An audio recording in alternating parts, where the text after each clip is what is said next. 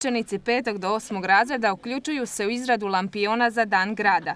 One najmaštovitije i ponajbolje nastavnik tehničke kulture Miodrag Zdravčević odabire za izložbu koja će ove godine biti u Arheološkom muzeju. Ovu akciju godinama podupire i Društvo pedagoga tehničke kulture grada Osijeka gdje ja kao predsjednik društva ovaj, tu aktivnosti na neki način manifestacije, odnosno promoviramo na taj način da se podigne na jedan veći nivo i da na neki način djeci uručimo neke prigodne poklone za izradu tih lampiona koji su najbolje se iskazali, odnosno i izradili lampione. Budući da se evo bliži kraj da te lampione predaju u Narodnu tehniku i društvu pedagoga tehničke kulture, odlučili smo se malo vidjeti jesu li u završnoj fazi, kako su djeca ove godine to izradila, kakvi su motivi, s čim su se rukovodili i na neki način evo da potičemo to zajedništvo u, u stvaranju,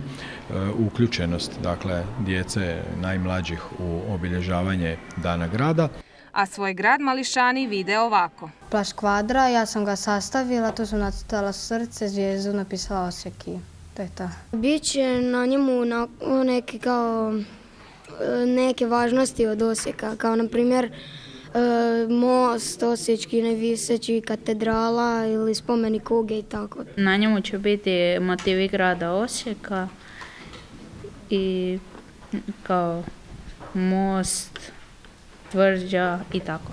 Sudjelovanjem učenika u ovakvim aktivnostima razvija se kreativnost, maštovitost, motoričke vještine, ali i osjećaj nekakve pripadnosti ne samo osnovnoj školi u Osijeku, nego i pripadnost samome gradu i osjećaj da su oni za taj grad nešto napravili da bi ga predstavili u najboljem svijetu. A u najboljem će svjetlu svi odabrani lampioni zasjati na izložbi koja se u Arheološkom muzeju otvara u petak 30. ovog mjeseca u 18 sati, a svi zainteresirani će moći vidjeti izložene radove sljedeća dva tjedna.